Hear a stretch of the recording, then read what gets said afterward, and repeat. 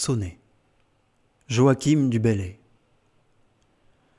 Maintenant je pardonne à la douce fureur qui m'a fait consumer le meilleur de mon âge, sans tirer autre fruit de mon ingrat ouvrage que le vain passe-temps d'une si longue erreur. Maintenant je pardonne à ce plaisant labeur, puisque seul il endort le souci qui m'outrage, et puisque seul il fait qu'au milieu de l'orage, ainsi qu'auparavant, je ne tremble de peur.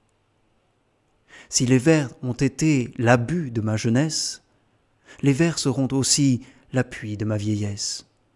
S'ils furent ma folie, ils seront ma raison.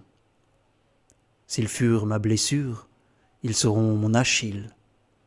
S'ils furent mon venin, le scorpion utile, qui sera de mon mal la seule guérison.